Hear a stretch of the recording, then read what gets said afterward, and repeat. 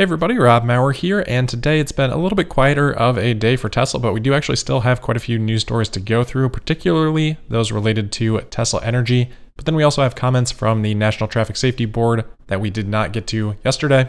Then we've got some news on the Model Y and quite a few other stories in the automotive industry. A little bit better day for the markets overall today. The Nasdaq finished up two tenths of a percent. Tesla outperforming, finishing up one and a quarter percent, seven hundred thirty-nine dollars thirty-eight cents following the down day on Monday. As for tomorrow, just something to keep an eye out for from a macro level. Federal Reserve is having their two day meeting right now. Their comments on that meeting will happen tomorrow, shortly before market close, a couple hours before market close. All right, so we've got a handful of Tesla energy stories here to start out with. First, on Tesla's virtual power plant project in South Australia. Tesla's been working on this for a couple of years now. If you're not familiar, it's a network of 50,000 homes with Powerwalls that are all virtually connected together then centrally controlled to help optimize distribution of energy. As we talked about when we went through Tesla's impact report, one of the underappreciated aspects of Tesla is their ability to utilize software to increase the utility of their hardware, and that's exactly what Tesla is doing with virtual power plants or VPPs. So, the news that we have today on Tesla's South Australia VPP is coming from a senior manager of engineering at Tesla sharing an update on LinkedIn. It reads, quote, Excited to launch the Tesla Energy Plan in my home state of Victoria today. The expansion of our virtual power plant from South Australia to Victoria allows customers with the Powerwall to participate in wholesale energy and frequency control markets, providing cheaper retail rates and supporting the power system when it's needed most.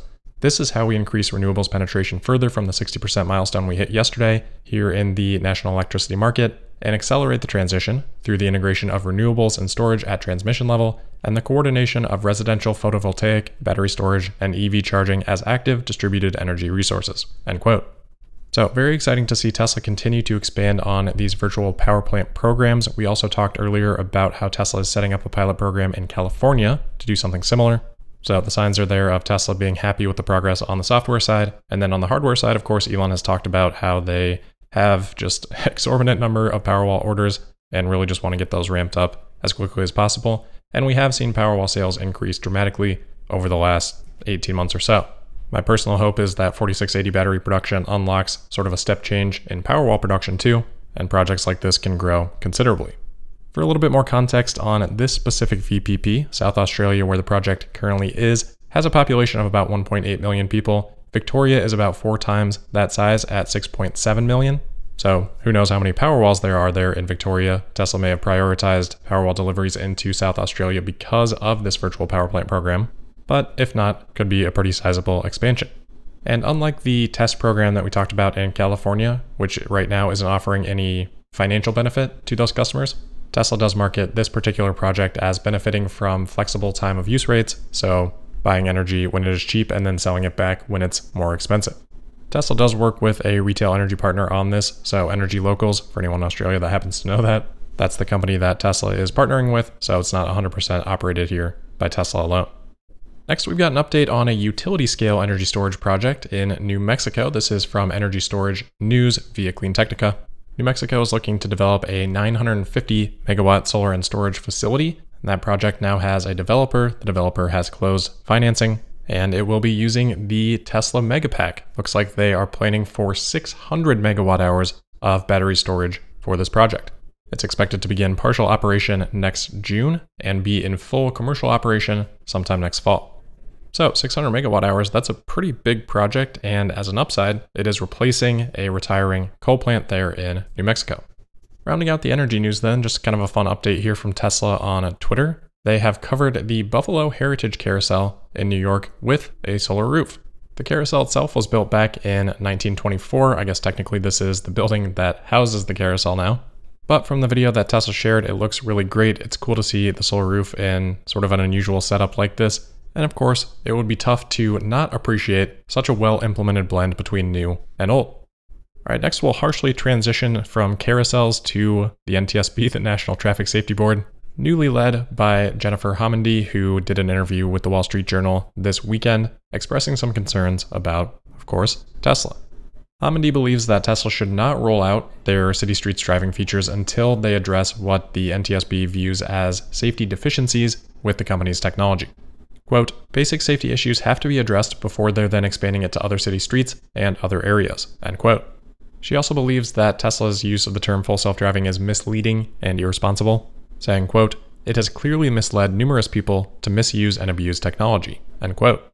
So, on that point, I've said before that I do actually think that there is some valid criticism for Tesla in terms of how they market full self driving, but I don't think anyone actually using the technology has been misled. Like, it's super clear what it can do and what it can't do, especially even before the beta has been released. To me, that then falls into a communications problem, not a traffic safety problem.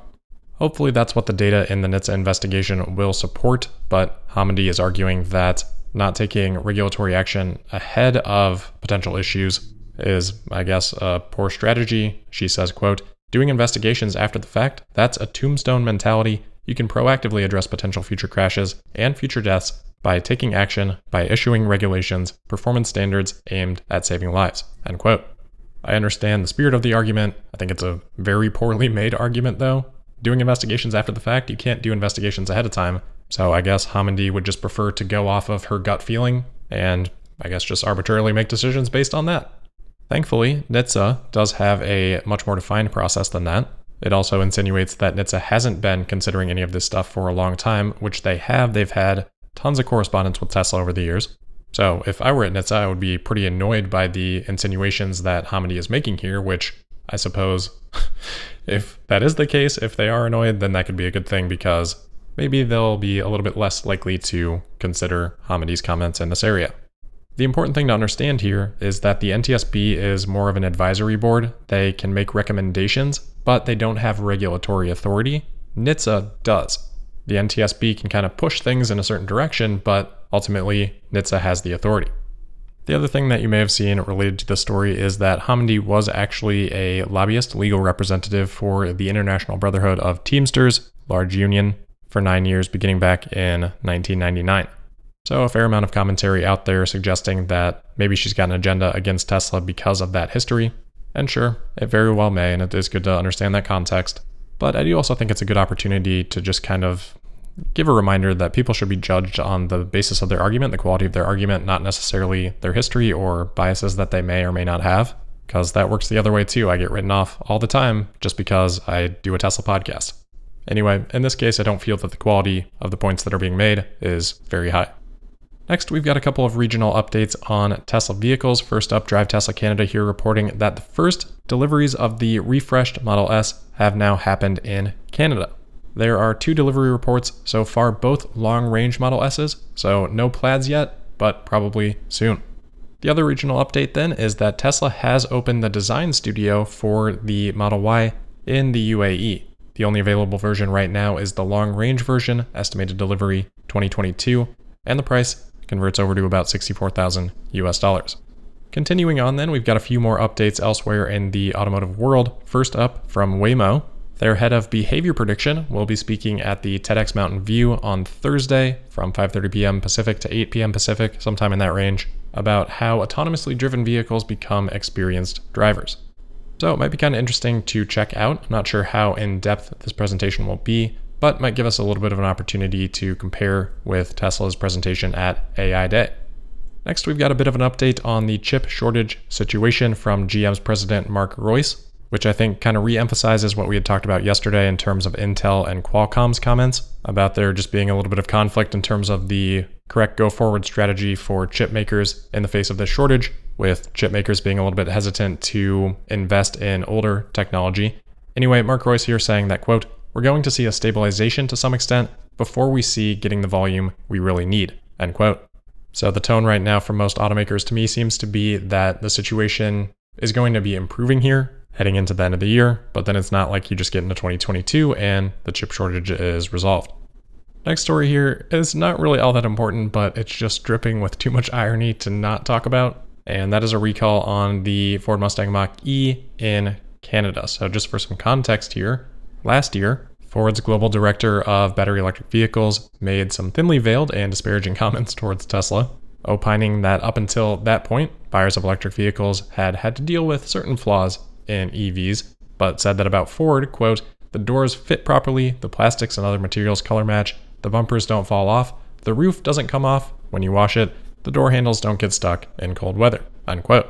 Fast forward less than a year, and this recall reads, quote, On certain vehicles, the glass panel of the panoramic roof may not be properly attached. Over time, the glass could become loose and separate from the vehicle. End quote. It's the automotive business, recalls happen, but you've got to kind of chuckle at those words coming back so directly. Finally, then, a couple of pieces of news on new electric vehicles. First, with Mercedes. Mercedes has announced the starting prices for various trims of the EQS in the United States. The EQS will start at $102,000, and then there are various trim packages, and those can run up to $125,000. I don't know if those are inclusive of all options then, but that's how the price range is looking now. As a reminder, the EQS has a WLTP test cycle range of 784 kilometers, 487 miles. No EPA test yet. Obviously, we'd want to know that range, but I think it should come in above 400 miles.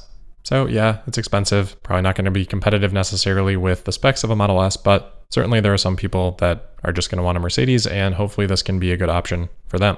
The other new vehicle then is the Audi Q4 e-tron. That's got an 82 kilowatt hour battery, but a very poor 241 mile EPA estimated range for that size battery and a $45,000 starting price. So, first, I think probably not a lot of margin there for Audi, and a decent price for customers, but not really the best value proposition.